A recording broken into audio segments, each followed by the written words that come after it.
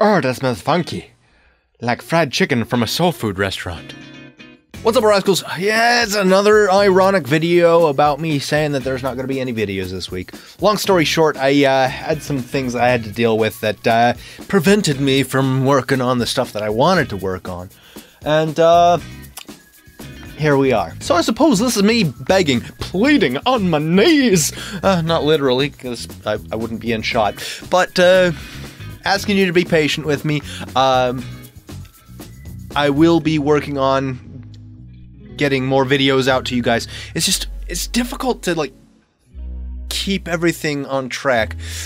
The problem with being an ADHD is you got all these ideas and all these things that you want to do, but uh, you, one after a while it all builds up into a giant pile and you don't know how to organize it, and you you can't even try because it's like feels so overwhelming, and you're like,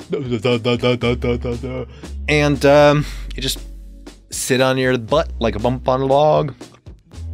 So I suppose one of the biggest things that I need to do is figure out how to put everything into a checklist, and then, hmm, I'm gonna make me a checklist.